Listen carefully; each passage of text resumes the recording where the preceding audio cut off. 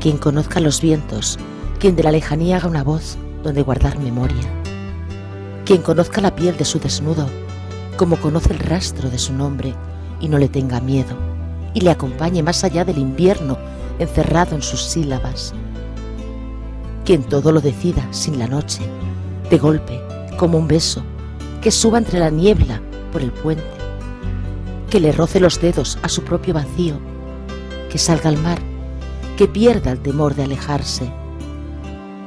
En la debilitada sombra violeta de las olas, mientras se van hundiendo con el puerto, los antiguos letreros y las luces flotarán esperando nuestras conversaciones en el agua.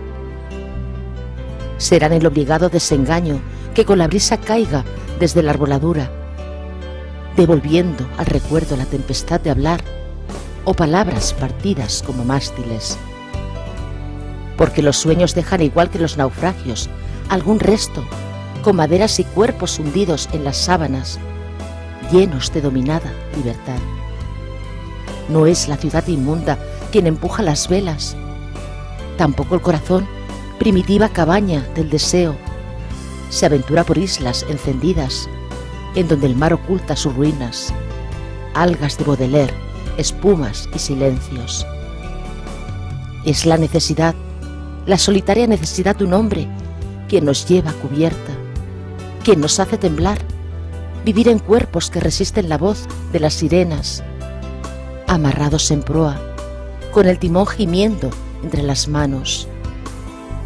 Aléjate de allí, vayamos lejos, sin la ilusión que llama desesperadamente, sin el dolor que asume su decencia.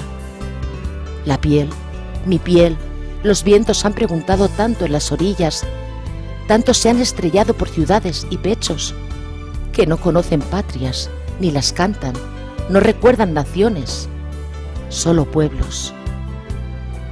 Yo sé que su regreso es el nuestro sin duda, porque con voz humana, como marinos viejos sobre el desdibujado dolor de sus espaldas, vendrán para decirnos, es el tiempo, dejémonos volver con la marea.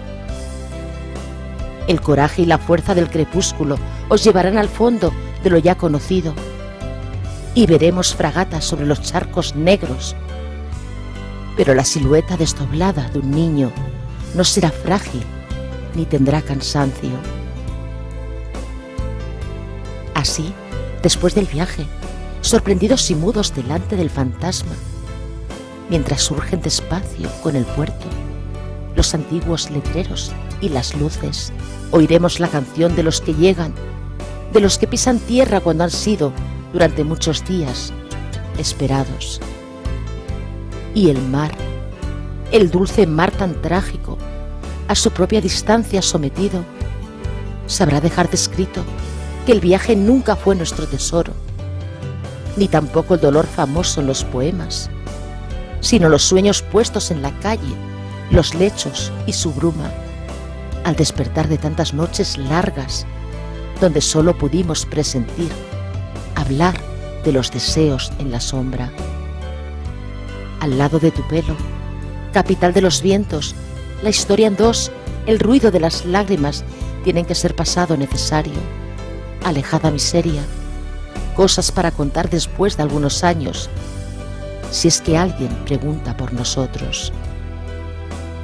Aunque también, y necesariamente, entre la baja noche y esta casa, donde suelo escribir, yo esperaré los labios que con llamada extraña de nuevo me pregunten, prisionero de amor, ¿para quién llevas un hombro de cristal y otro de olvido?